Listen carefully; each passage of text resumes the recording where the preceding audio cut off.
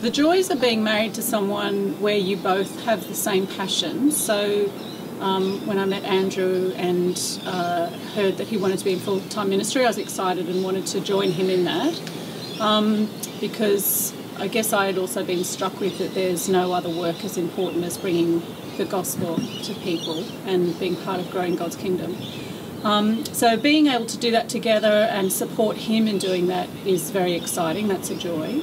Um, think one of the tensions there, though, is uh, there's a huge amount to do, and it is his main work. And so, being the wife, even though I've got the same passion in many ways, I need to curb how much I do um, to enable him to do as much as he needs to do. So, there's a bit of a tension there, but that's resolved in seeing that a lot of what I do in the home and supporting him does mean he can do it um, better. I think, uh, just to back up what Kathy has said, that whole idea of being on the same page together is just wonderful.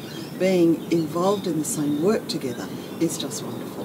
Um, when I married Jim, and we've been in ministry a long time, uh, part of my responsibility is that I would be his helper. And it's wonderful that I get to be his helper, not just as his wife and as mother to our kids and things like that, but as the helper in this ministry. Um, I can actually work beside him, walk alongside him. I can be his sounding board when he comes home. Um, for otherwise, that might be difficult because they might not know very much about the work uh, that their husband's involved in. But because this is part of our life, this is our life, being involved in gospel ministry, I feel that uh, it's a great privilege to walk beside Jim, uh, to be his helper in that sort of ministry.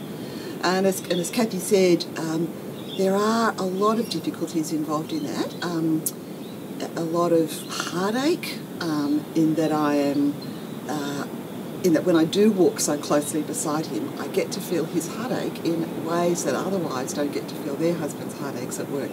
And so sometimes I feel that immensely.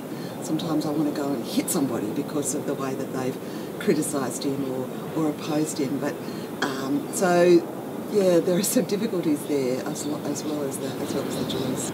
The thing that I find most helpful is um, communication. So actually having Andrew, when he comes home, talk about the stuff that he's doing and um, I guess his dreams and visions and understanding that, all of that actually helps me get on board with it. Um, in some ways, I'm able to contribute to those visions. I'm able to get in, in into some of those ministries and help make them happen.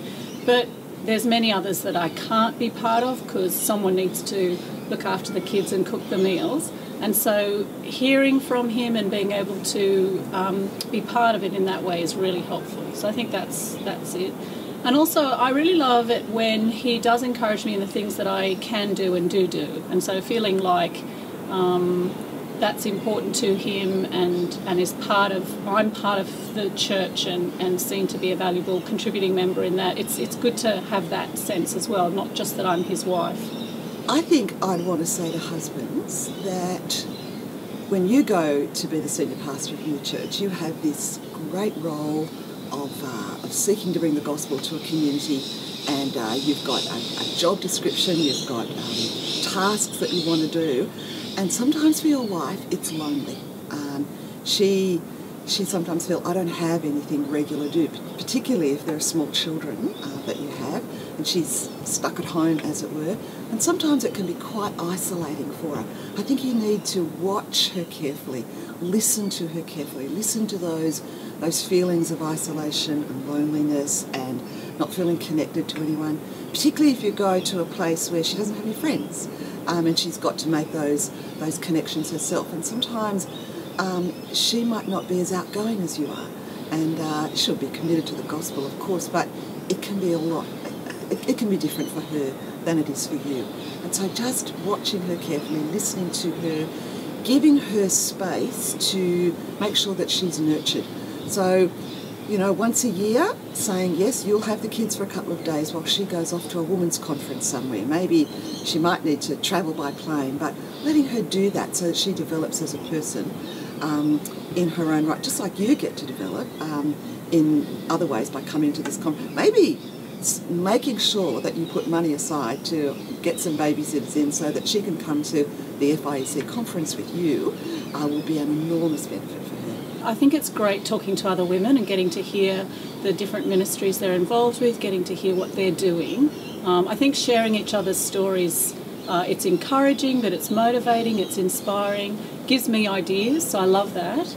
Um, and the second thing I love is just hearing the stories of what uh, God is doing, hearing the gospel growing around the country, because everyone gets to stand up and talk about their church how how how it's grown, what their hopes are for the next little while, and you just get by the end of it this amazing picture um, of wow, an Australia-wide growth. It's so exciting.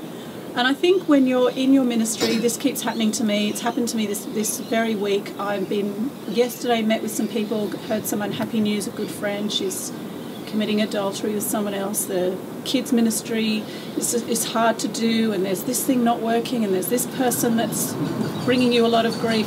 You come here and you realise, hey, there's actually good news. These, it, it's not all bad, and in fact, it's not bad. God is growing His gospel. It really gives you that lift, and that in turn, I think, then refreshes you to go back and keep doing what you're doing. Hmm. It's great. Yeah, I think it's the for 51 weeks of the year you're you you're consumed with what's going on in your little patch, and coming to FIEC lifts your eyes out of your little patch and says there's massive work going on across the country, and uh, I'm so excited to be a partner with that. So it's that sense of partnership.